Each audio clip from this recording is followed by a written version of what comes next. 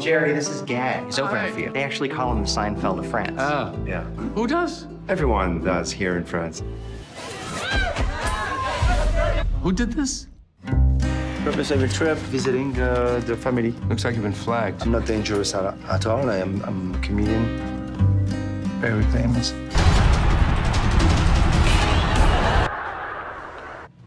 That's all in France? Yeah. Hmm. What? I don't know. It's just not uh, Here. exactly. I see you were assistant to David Spade. Well, actually, I shadowed David Spade's assistant. And then Yeah. if you follow it down to the bottom Yeah. there, it says shadowed. Yeah, but these all have the. The asterisk. So? Yeah. So yeah. Seriously?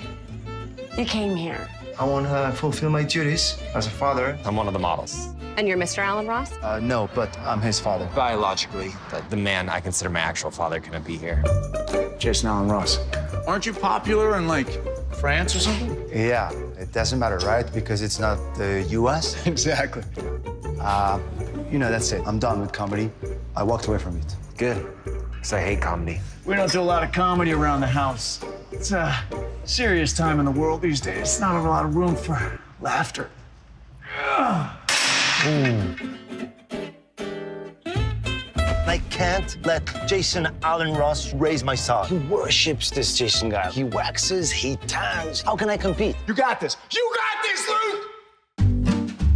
You want to help? Yeah. Go back to Paris. You're a king there, Gad. Never too late. You know that saying? Too little, too late. Do you know that one? It's legit. Who's this guy? This is Gad. Cool. Doesn't look cool. What? Yeah, he's French. It's fine.